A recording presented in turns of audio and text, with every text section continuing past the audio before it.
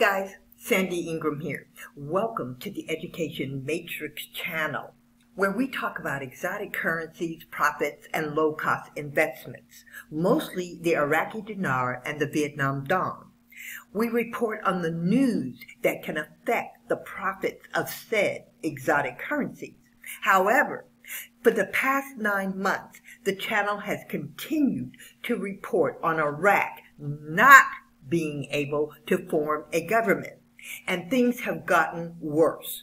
The global news networks are openly asking questions no one wanted to previously talk about.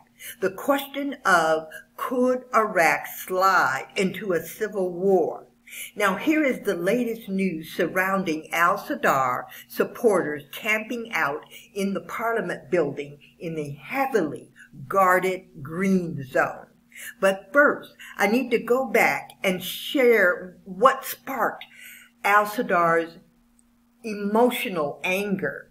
There was a leaked audio tape between Maliki, a previous prime minister of Iraq, and his inner circle. Now, the channel did not bring this leaked audio incident to your attention because it had nothing to do with the Iraqi dinar exchange rate.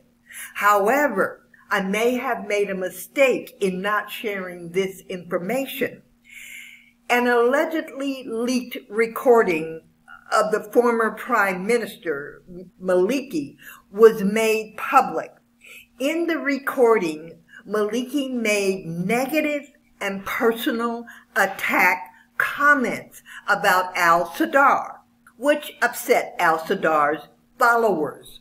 In the recording, the former prime minister claims Mr. al-Sadr is backed by foreign powers and accuses al-Sadr of a kidnapping and murder campaign across Iraq during years of sectarian violence after the 2003 U.S.-led invasion. He also called al-Sadr names and talked about his level of intelligence. Of course, the leak recordings made the popular political clergy angry.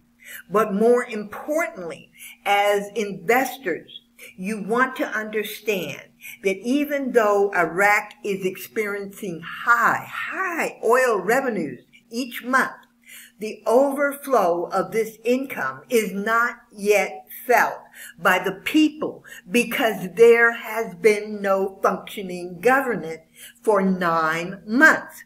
Programs that help the poor are not funded.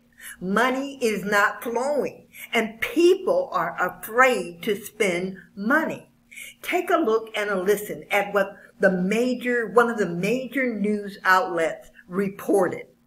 This is a city divided not just by the Tigris River, but also by its political loyalties. Iraq hasn't had a functioning government for nine months. It's affected every aspect of life for millions of people here. Some of those are part of the minority Sunnis who mainly live in the central neighborhood of the capital known as Adhamiyah. 33 year old Mustafa Assad says his shop has been badly affected by the recent demonstrations and political upheaval. Three quarters of people are not buying anything here. The streets are empty. It reminds me of the days of the curfew during the pandemic. It's very bad. 80% of the businesses have been affected. Many come from different regions to find work in the northern province of Erbil, which is home to Iraq's Kurdish minority. They are also feeling the effects of what they say is an ineffective central government in Baghdad. I came here from Kirkuk to work as a taxi driver. The situation in Baghdad is scary, especially after nine months or so with no government formed. Back on the streets of the capital, signs of neglect and lack of public spending are visible. Despite the state making huge profits through oil sales, $11.5 billion last month alone, no budget was passed this year meaning most of the surplus cannot be spent on those who need it most.